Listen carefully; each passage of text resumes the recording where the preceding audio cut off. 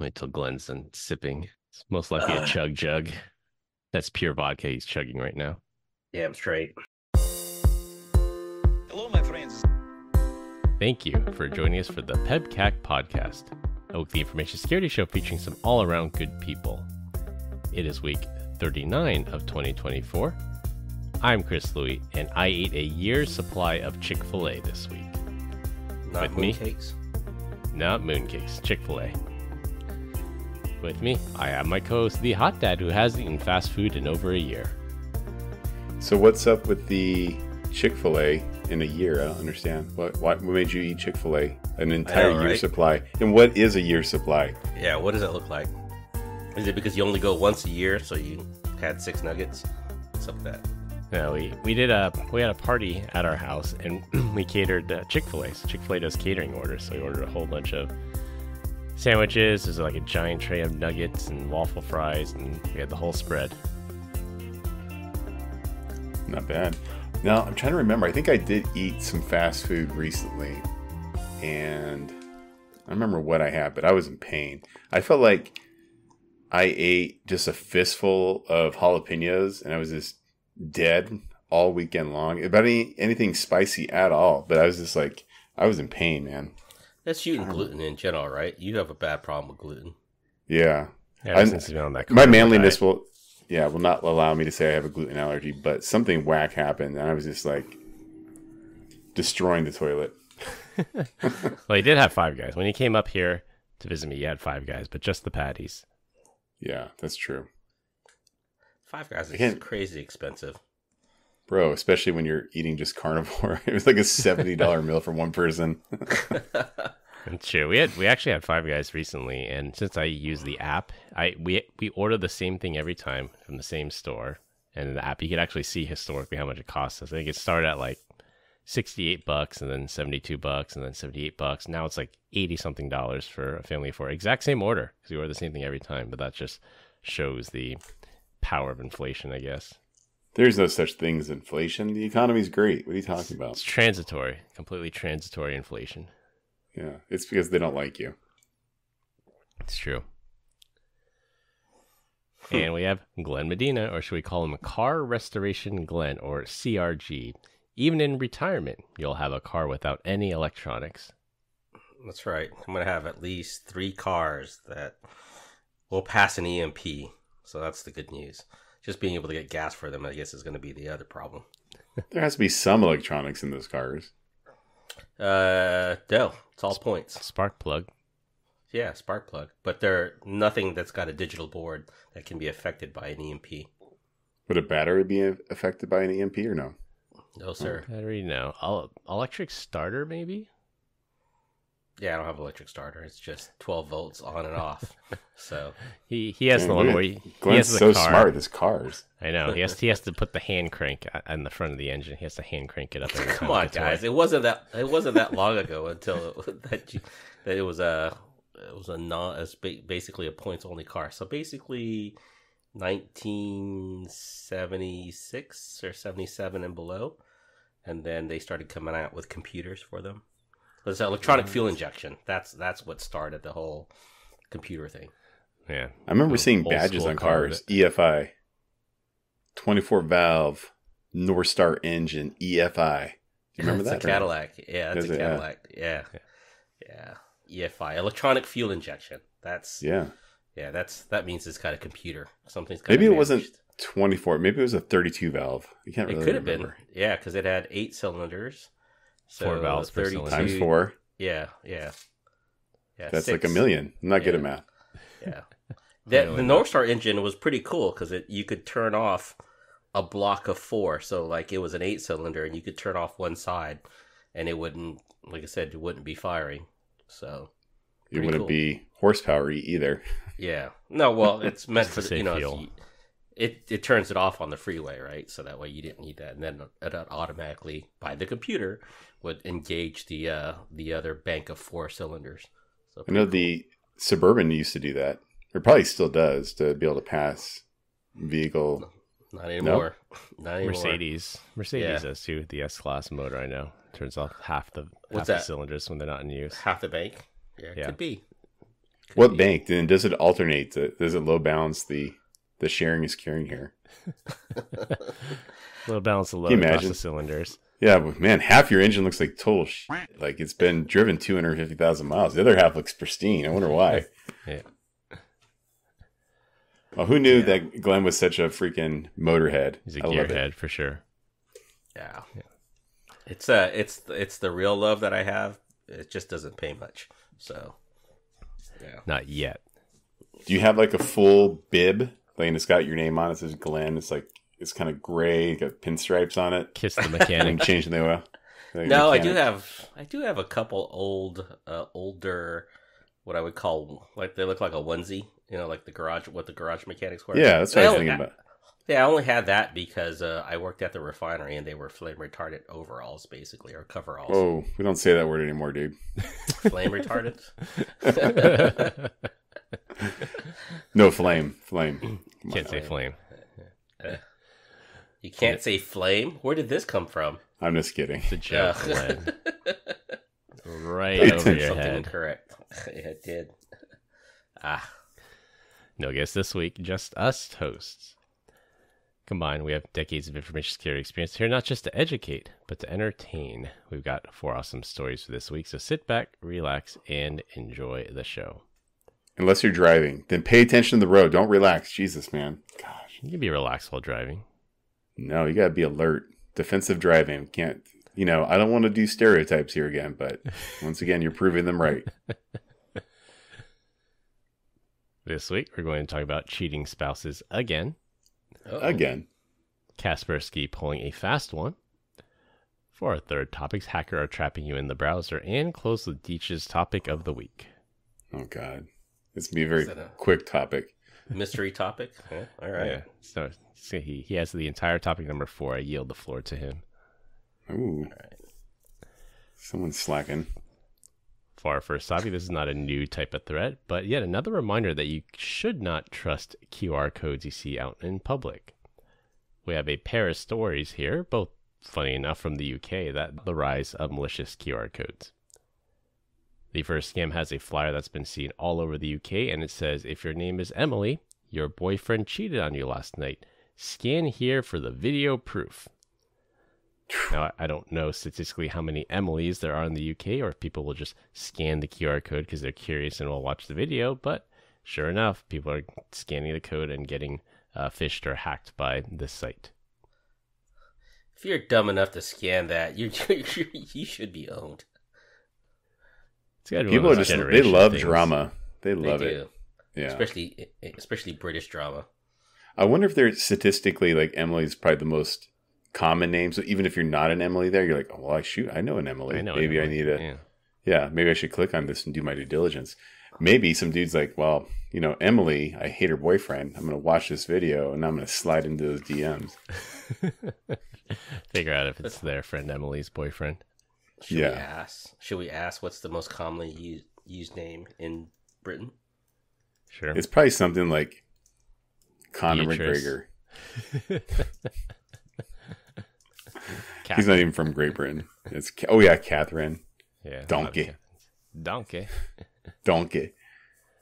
Yeah, it all, it has all the hallmarks of the typical phishing scam. Some kind of sense of urgency, some kind of I'm on the inside, you're on the outside. Scan me to get on the inside, and it's just too enticing for people not to scan. And thankfully, they said, well, maybe it's fortunate. Unfortunately, the QR code right now, it's one of those work from home scam type jobs or co- college people looking for work over the summer scams. But it could be much worse. It could be you know stealing your banking details, installing malware on your device. But they just use this particular threat vector to offer you these work at home scam jobs. We think the pen, like how successful are those QRs? Like so let's say you have like a million scans. How many people actually are dumb enough to fall for the phishing attempt or whatever it is? Like click here and sign in with your Microsoft online account before you watch a video. How many people are actually dumb enough? I think it's like less than one percent. That's all you need, though, right? Yeah, statistically, it's a numbers game. So less, you know, one percent of a million is a thousand, ten thousand. You got you got an active person to go look, go click, and then you know you, you got a high rate of click to, to begin with, and then it's that sub one percent or one percent. that actually tries attempts to log in to a to a OneDrive account to go see the video. Chances are that person doesn't have any money. they're barely making it through life if they're falling victim to this. Yeah, maybe, but they can still have all their personal data stolen. What's in your OneDrive? Well, never mind. We got to stay out of yours. My OneDrive is empty. Could you imagine? I know. on that same thread that Brian was talking about, it's like, hey, uh, you know, I've, I've got no money. Go ahead and take my take my take my identity. My identity owes half a million dollars, and I'm in half a million dollars in debt anyway. Enjoy the student loan debt, buddy. Yeah, Yeah, exactly. Could you pay it off? yeah. I feel so sorry for you. Since I mentioned there were two stories, the other story is also from the UK, and they're having problems with these things like pay to park signs that you just park somewhere, you scan the code, you pay your meter or congestion charge or whatever you have to pay. And that one actually is scamming people because this one's a little bit more clever. They put the fake sticker QR code over the legitimate QR code, you scan it, and it actually looks like the pay by phone website, and you plug in your your details, your address, your credit card information, and then they'll take you to a page that says, "Oh, your payment received." And you're like, "Okay, cool, I'm good to park here for now." And then you come back and you get a ticket and say, "WTF? I paid. Why am I getting a ticket?" And then you have to pay the ticket, and then you also have your credit card number stolen too. See, that would Let's be pretty this. cool. Yeah. Go ahead, Brian. And say, let's do this at Black Hat next year or DEF CON. We'll come up with PEBCAK, follow me stickers, and it's a QR code. It says, since you were dumb enough to click on this, why don't you donate before you subscribe? and then we'll raise some money that way. How about an even better one where you you go to a restaurant, you slap your QR code down, you mimic the restaurant's menu, they order on your site, you go in and put a f- put the order in, right, and then you add extra money at the tip time, and you sc- Oh. you scrape that tip. I think you just talked about um, Grubhub. Yeah, That's Grubhub's whole model. Whole model right there. right. Just getting in the middle there, just Yeah, just get taking, in the a, middle. taking a cut. That What would be about, funny um, if, if you're sitting at a restaurant and Grubhub shows up and delivers your food while you're sitting there Yeah, from that same restaurant. Isn't this like uh, the the whole reason why this is probably so popular? It probably happened. Was it last year's Super Bowl where this had a QR code bouncing around the screen? that was it. Wasn't last year. I think it was either two or three years ago, and I think it was Coinbase if I don't if I remember correctly. It bounced around the screen just like that old DVD screensaver, and I think it was just a QR code. I wonder how like so. Let's think of like Apple. Like for the longest time, you couldn't scan that QR code, and then eventually they put it in there. Yeah, I wonder if they're just like. I wonder if the argument there was for a long time. It's like, no, it, this could be used for malicious intent. They're like, nah, man, it was on the Super Bowl. It's cool. yeah, right. Some people are forced to it, right? Yeah, Even and even I use it. even with things like being able to, because Apple will show you the URL before you visit it after you scan it, but people just use shink, link shorteners, they use forwarders, so that's almost a, a useless security feature because most sophisticated actors will know to use a link shortener or use a, a forwarder. The only good utility for a QR code is going to someone's house and you have to jump on their Wi-Fi. Boom, that is amazing. Yeah, that's that's a good one. So you don't have to share the password; you just scan it. To That is, join. in, that is installed a uh, root cert as well, so that way uh, you can go do SSL You get a decryption on TLS inspector session. Uh, spoiler: When it's on an iPhone, is this going to be a really crappy user experience? Yeah. Only browser traffic, basically. But that's the moral of the story. You can't trust these QR codes. They said one possible mitigation visit the website directly. Don't rely on the QR code. It's a lot more hassle because you have to go to the website. Then you have to find you know the parking space number or the parking section you're in. But it's the only real surefire way, or just you know verify that the URL is correct. Because a lot of these phishing websites will have weird top level domains. They'll have like .site or .top or .biz instead of the usual .com or .co.uk. The the dot, everything after the dot is getting to be a little out of control now. I think I saw someone was like dot services the other day. I'm like, what the heck? Yeah. Like this, this, those domains are getting wildly inappropriate. By the way, like, how come I can't just have like a dot Brian Deitch and just get re- and get rich? Brian Deitch dot Brian Deitch. I think there's a I, I this happened to that you know that cup that I don't know if they're French. It might be French. the Mont Blanc, that company that makes Dot nice PEBCAK. Pens. dot nice watches. They had a dot Mont Blanc top level domain. They said it wasn't gaining any traction. It was a dumb marketing stunt, and they had to pay ICANN like a hundred thousand a year to maintain that top level domain or something. So there, there's a fee. You can add you can add your own TLD, but there's a fee with the associated with that. That's Well, you, you just charge that out, though, right? You just charge out that to the subscribers of the top level domain. Yeah, but That's no no one else wants a dot Mont Blanc Yeah, 'cause if you TLD. a- it's like one Yeah, company that so. can use it. Because that that's like, printing money. yeah, dot security is a pretty big one right now. Like all these security companies are buying. Yeah, they're buying up all the dot securities. Dot sucks Yeah. is another one. Dot fail is another one.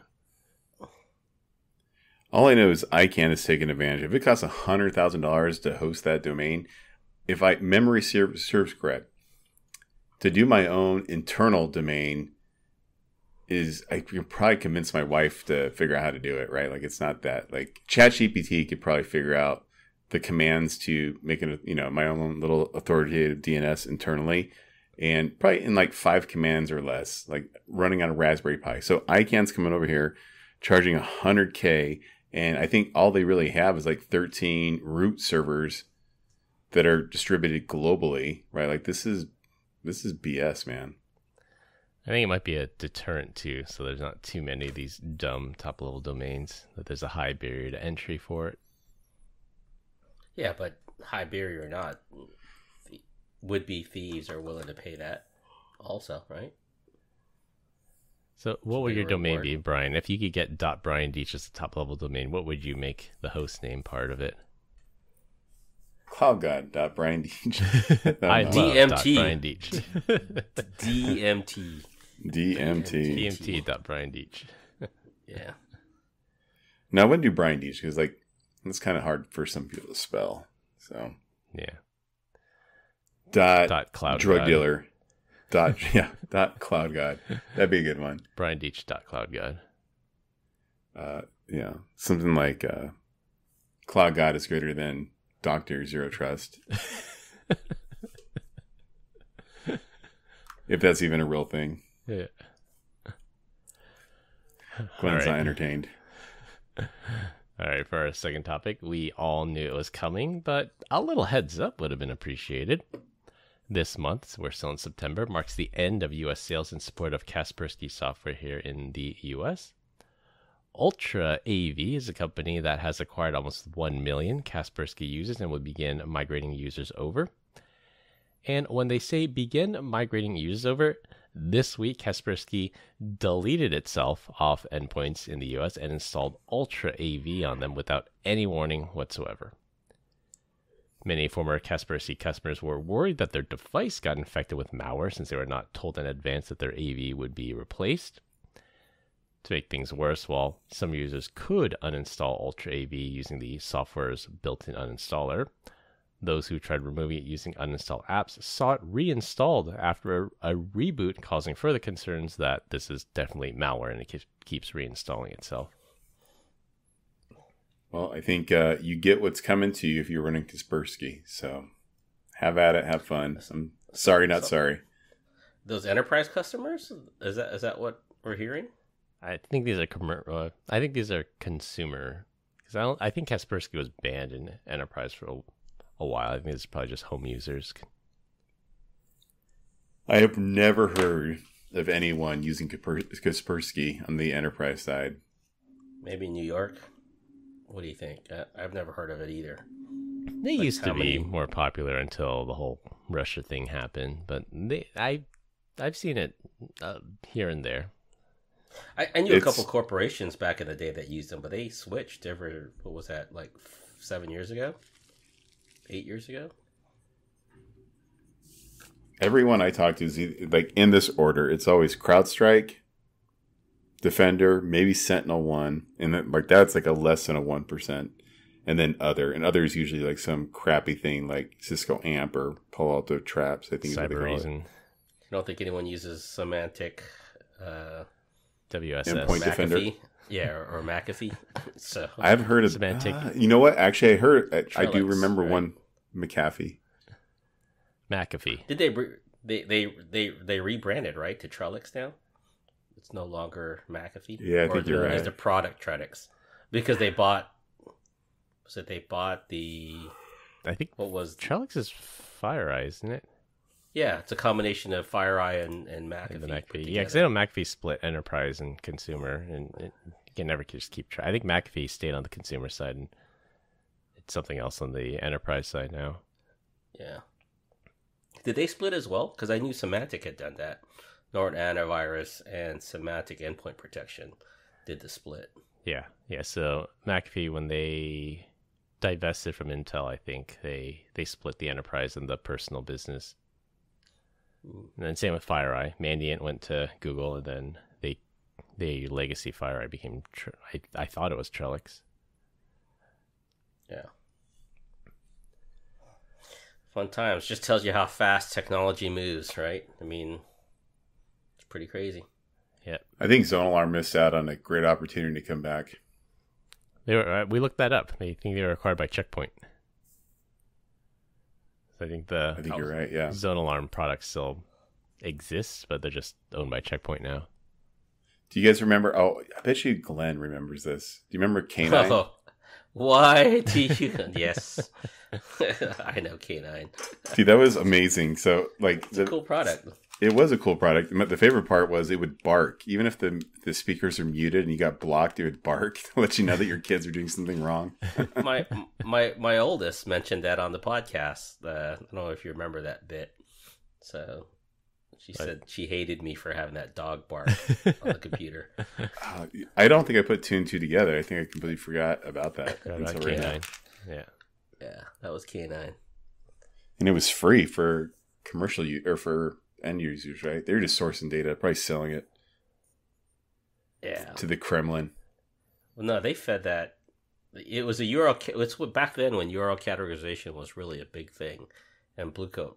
Blue, I thought Bluecoat URL categorization was probably on on par, really good. Nothing nothing could compete against it. And like I said, it's gone by the way of the dodo bird these days. Yep. Do you know? Do you know where they used to do the categorization at? What's what state in the United States was the most popular? To do Utah. what? To yeah. You. I was asking Glenn. I Okay, mean, why not Utah? Yeah, why why Utah? Because of they're uh, big on pornography. No, The LDS church is headquartered there. and and what what specifically about the LDS Church makes them a great resource for URL categorization? It had something to do with their international travel. They have people that have speak lots. The the church itself knows lots of languages based on its members. I think is the Ding reason. ding ding! You get it? Yeah, it's the return missionaries. They they've put people all out in the world, so they they become fluent when they're on their I Mhm. think six month or year mission. So it was a great resource to have people translate what they're seeing online. Whatever that's still Yeah, the case. Now it's replaced by AI. AI. Oh, yeah. this is Bots. this is Ukraine language. I don't even know what do they speak of Ukrainian. Ukrainian. Oh, when does So that, that sound like? That, that, yeah, like Russian. so there, there was a. I knew, I knew the person that did the URL categorization for Bluecoat back in the day. I'll have to go look up his name, but he had classified it to like fifty-five languages or something like that. And one of the languages that they had done as well, that's not part of your common language set, was um, was uh, what's that Star Trek uh Klingon. uh, language, Klingon. So they actually had identified that as a as a language. as a as a language type. Yeah, it's pretty cool. Yeah, Klingon or Vulcan or High Valyrian. That was the one from Game of Thrones. yeah. So Well, I wonder how many of these former Kaspersky customers are going to stick with Ultra AV after they pulled a stunt like this. There was a other one, right? Like free AVG Grisoft. Do you remember that one? AVG was another and one. Avast. Yeah. Yeah, there's free AV. They had the the safe browser. I think they said block people from tracking you, and then they turned around and collected all your data and sold to advertisers without your consent. So it's like, yeah, it's safe from other people, not safe from us. Yeah. Hey, it's kind of like buyer beware, right? If it's free, what, what do you always say? If it's free, you are the product. Yeah, if the product is free, you are the product. Exactly. Yeah. So It's a great com. That's a great statement, Chris. Yeah. So Facebook, TikTok, Instagram, Google, Gmail. You think Gmail's free because Google is UNICEF and they want to do charity work? It's like no, they give you the free No. Google tier for to mine your data, so they can see what I bought, when I bought, what my hobbies are, and then that way they can sell me more targeted ads. I, I- forgot. Was there a setting that you could have that prevented, or is that part of the agreement of using the free uh, Gmail account? That's just, that's that's the trade off. You cannot turn it off if if you pay them for G Suite, not the corporate kind of G Suite, but personal Mhm. G Suite, like five bucks a month or something. Then then then they say they don't scan your inbox and there's no ads. Mm, But that's to pay for the privilege of them not data mining you. yeah, yeah, yeah. I went out and got all got all the kids, the whole family, like an Outlook.com account, right? Because Yeah. that's not mine, or that shouldn't be mine. So Well, if you pay for it, no. But if you don't pay for it, then yes. I pay for it. Definitely pay for it. Yeah. Yeah. Yeah, then then it, then they shouldn't be data mining you, and it should be pretty pretty privacy centric, more secure. Yeah, yeah. All right, for our third topic, threat actors are abusing the kiosk mode in most browsers to phish users into giving up their account credentials. Kiosk mode is a special configuration used in web browser apps to run in full screen mode without the standard user interface elements like toolbars, address bars, or the navigation buttons like your front, your forward, backward, stop. You could try it now if you're on a computer. Just hit F11 on your keyboard. It's designed to limit user interaction to specific functions, making it ideal for public kiosks, demo terminals, and the like. In this attack, kiosk mode is abused to restrict user actions and limit them to the login page, which the only apparent choice being to enter your account credentials. Specifically, the malware locks the user's browsers on Google's login page with no obvious way to close the window, and the malware also blocks the escape and F11 keyboard keys. The goal is to frustrate the user enough that they enter and save their Google credentials to the browser to, quote, unlock the computer. That is nuts. Gotta hand it to them, though. Like we always say, you know, phishing, it's just gonna get worse. It's never gonna get better. And this is yet another way that they can lock you in your own browser until you give up your credentials. That's why you need an enterprise browser. Can't. Enterprise browser doesn't have kiosk mode. It's got kiosk mode, but it also will prevent um, the malware from being used in a way that could use that. I think I'll have to go double check that. That's an interesting it's- way of doing it. Yeah, it's not clear exactly because I, I see this in two ways. One is you you save it to browser, and then there's info stealers that can steal it out of the browser saved passwords feature, and then there's just redirecting a user to a Google phishing page. So it looks like you're signing into Google, but it's not Google, and you can't see the address bar because you're in kiosk mode. And then that's how they just steal your credentials that way too.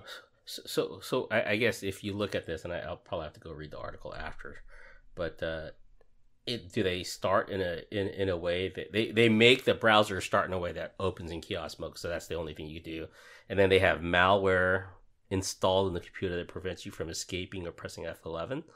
So I mean, sounds like your computer got owned also at the same time.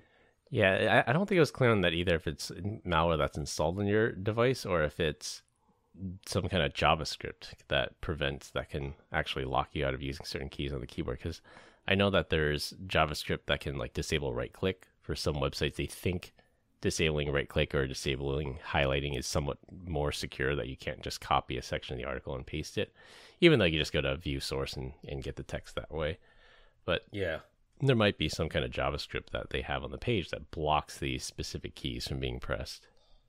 Yeah, yeah, yeah. I was just thinking. I mean, if you're sitting on one of these kiosk machines to begin with, you'd probably never know, right? If that machine and you were inserting because you were in kiosk mode to begin with, like for instance, check into a hotel or check, you know, check out or ch- get your room key created or whatnot. You've Yeah. seen those, right? In Vegas. Yeah, even like a restaurant or something, if you want to order off an iPad, it's, they always put it in either kiosk mode or guided Kiosk access. mode. Yeah. but yeah, I, I'm always leery about that, right? I mean, this goes to story number one, Chris, where we talked about inserting your credentials. Um, like if I'm sitting at a store and it's asking me to insert my credentials to Microsoft, like why would I ever do that? Like Yeah. you, you gotta you've got to be able to associate the two and have some type of like you know like a like uh some type of radar on that says, hey, I think I'm being hacked. You've got to have some suspicions up, up on that. Yeah, it's all that user awareness training. Yeah. Yeah. Do, do you think we not we probably don't apply that more towards the consumer segment than anything else, right? It's always business, business, business. We're always getting trained on that, phishing attempts and stuff like that, but we never really see that for the consumer side. The people that don't do this every day, right?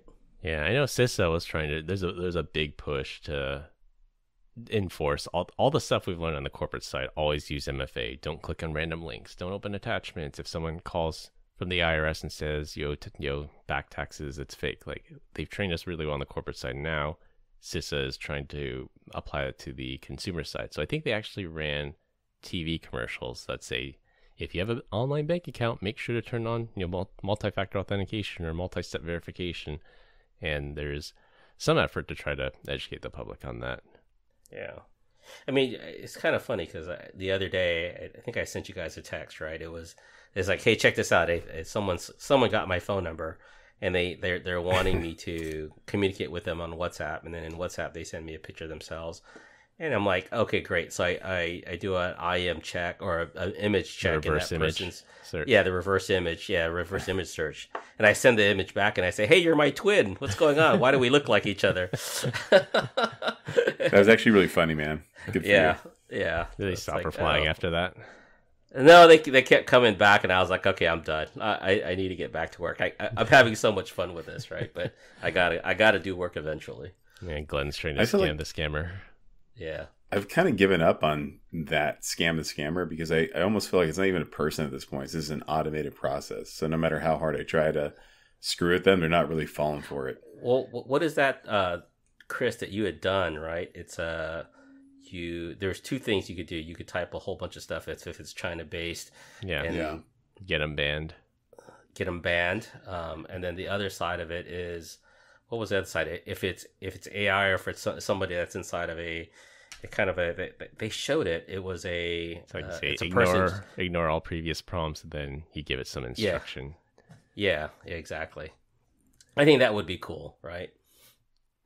Yeah, the China block is the funny one because they'll send you a message in Chinese, or even if it's not, you just send this big chunk of text, and it's got all the banned words in China, like Tiananmen Square and Great Leap Forward and Cultural Revolution and Winnie the Pooh. It's got all these words that if a Chinese person in China was caught with this, they'd be in a lot of trouble. So then I think they just Wait, why Winnie the. Pooh is bad? I don't understand that. The the joke is the pre- current president of China, Xi Jinping. If you look at him and you look at a picture of Winnie the Pooh, like they look a lot alike. So lot of the Chinese people are saying, "Oh, our, our leader looks like Winnie the Pooh," and then he didn't like that, so he, they got banned. And anyone who compared him to Winnie the Pooh uh, mysteriously disappeared. So Winnie the Pooh is, is Could you banned imagine in that? China right This now. is this is what makes this is what makes the U.S. so great, right? That we can control governors and presidential candidates, and it's still it's still okay. We're not going to have the, the Secret Service come up and try and kidnap us or take us out of our houses. Not yet, anyways. Oh, so- unless you're in California and you make AI memes, then that is actually a crime now. Yeah, that pre- that guy's a that guy's an idiot. Well, that that I has will- to stop. I mean, could you imagine getting caught for that, and that goes all the way up to the Supreme Court, and they kind of know, just right? laugh at it. Yeah. Yeah. The uh oh my gosh, there's like so not that I'm for or against anyone in this particular election, but some of the names that are coming up for for Kamala Harris, uh, pretty hilarious. Like, have you have you guys seen any of them? I've, I've seen some of them. They're not pr- probably repeatable on the podcast, though. This one, I mean, the the one of I think it was uh, Hyena Harris because she's got that laugh. That And I was like, yeah. oh, like the cackle. I was like, Yeah. okay, that, that's actually pretty funny. So, Yeah. and then The one I- Chameleon, Chameleon. Chameleon. Chameleon, Chameleon, Kamala, or whatever. yeah. I was like, dang man, they're just uh, s- people are savages out there. Yeah. It just yeah. Like I, I won't go into politics now. I'll just stay out of this. Yeah, going back Look to at the you, story, ear to ear. This, this, something similar I would say happened, and this was ten plus years ago or so. And uh, a friend of the family caught one of those extortionware AV, fake AV scams, and they took him to a web page and says, "Oh, your computer's infected. You can't go to any other websites. Pay us to disinfect your computer." And it was true. I tried to go to like Google.com or MSN.com, and it just said page not found then I was thinking like, hmm, how deep in the network stack are these guys? And I just checked the internet options at the time it was IE, and apparently they they had a PAC file on the computer that only allowed Yeah. traffic out to the payment gateway, and that was it. And I presumably when you pay this extortion fee, they just remove the PAC file and like, hey, you're disinfected now. That's a that's a lazy hacker. There's a little bit more to it. It's like, so if you removed it, then the malware would just re-add it back on there. Yeah, so that, that's what I did. I, I just I just unchecked the PAC file, deleted the PAC file, and and everything was fine. They weren't they weren't that sophisticated. yeah.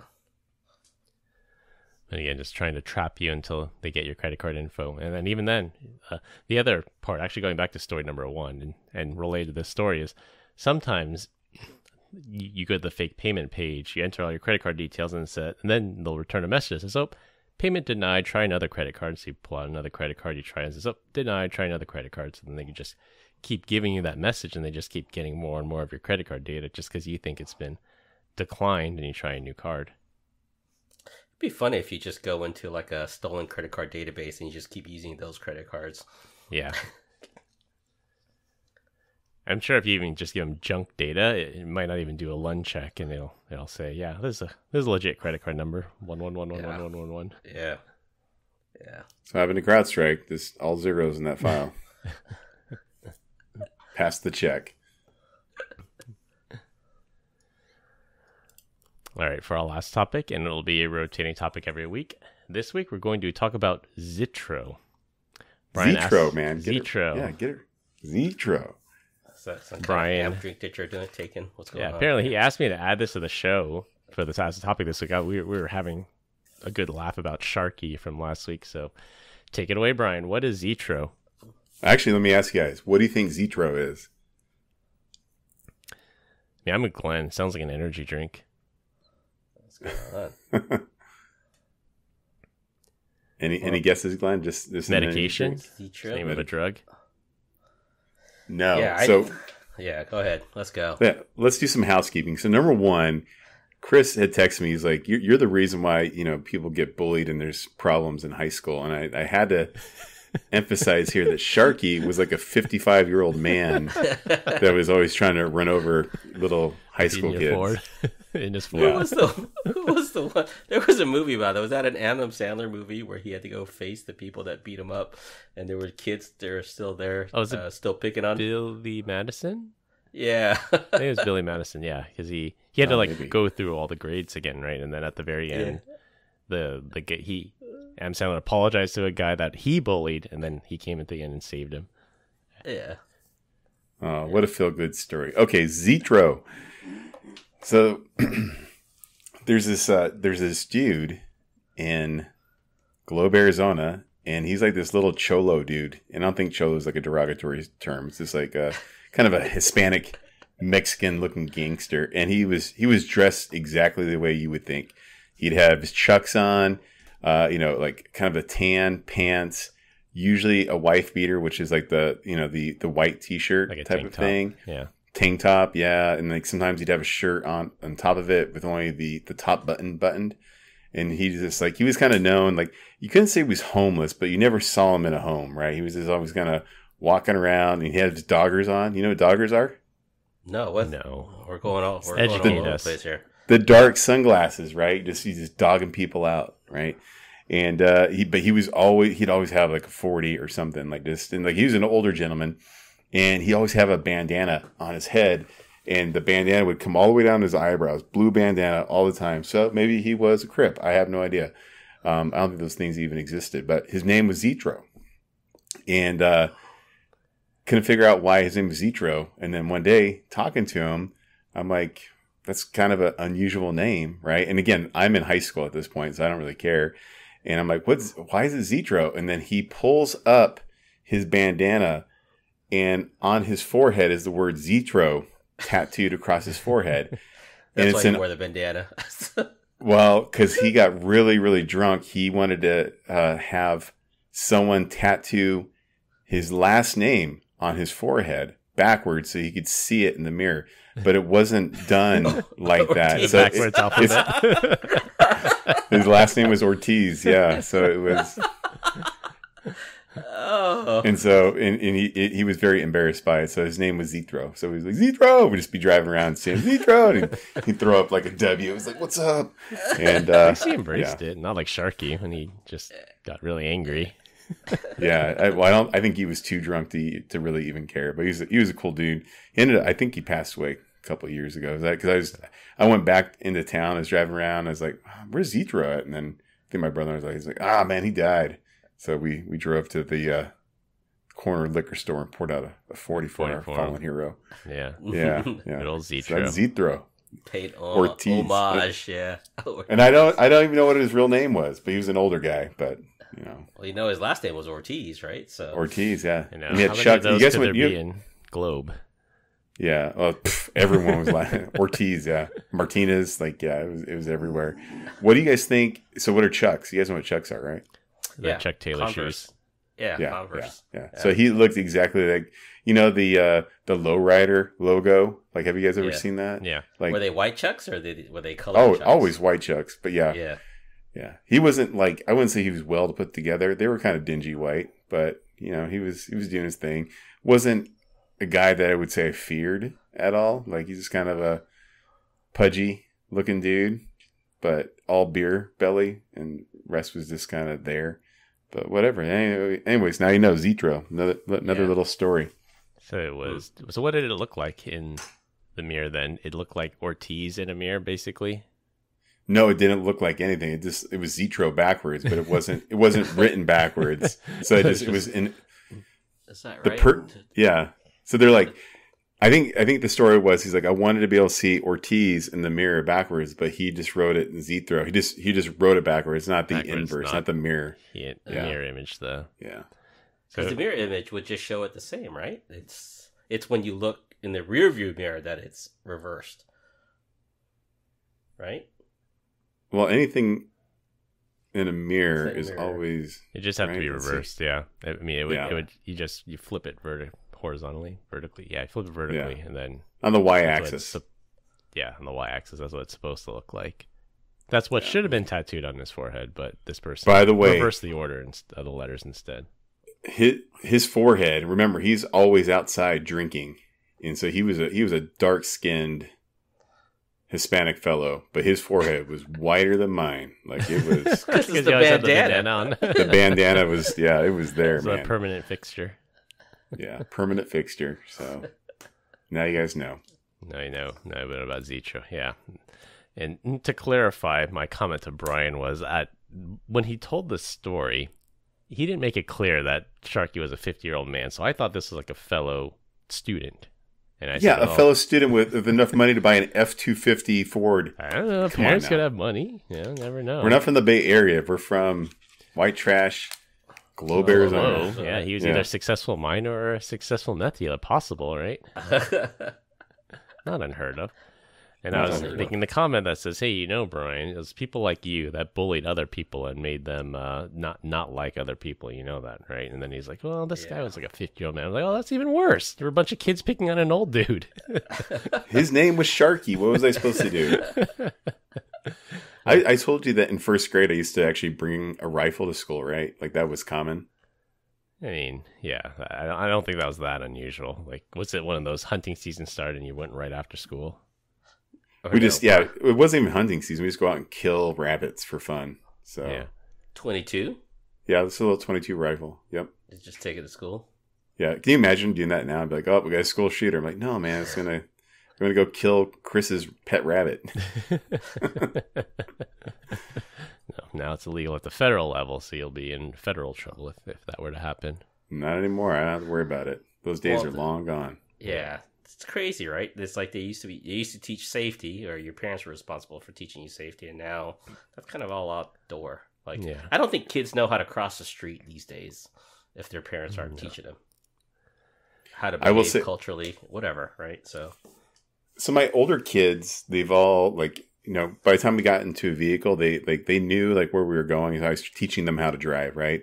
And so my daughter that just turned, she's like 15 and a half. We're driving, and I'm like, all right, you're gonna go to school. But she's like, all right, well, tell me where to turn. I'm like, oh, it's kind of weird. And so then the other day we were coming back, and uh, I'm like, hey, I was like, just you know, take any path you want to get to get home. And she's like, okay. So we get off the ma- the major exit, and she's like, do I turn here? I'm like, like three miles away from the major cross street from where we live. What do you mean you turn here? And I'm like, and then I just realized like she spent her entire life in a vehicle, either staring at a book or a phone.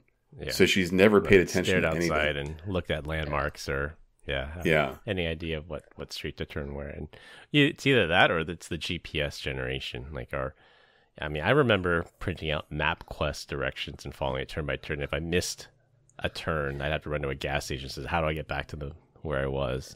And Yeah, Nowadays, yeah. it's just You prob- everyone's on Nav. yeah, but you you probably turned the GPS on just to go to the office, and you've been to the office like a thousand times. Well, it's nice Are to you know if guilty there's of an that? accident. Are you guilty of that? Well, I, I don't turn it on because I don't know how to get there. I turn that on in case there's a major accident and it detours me.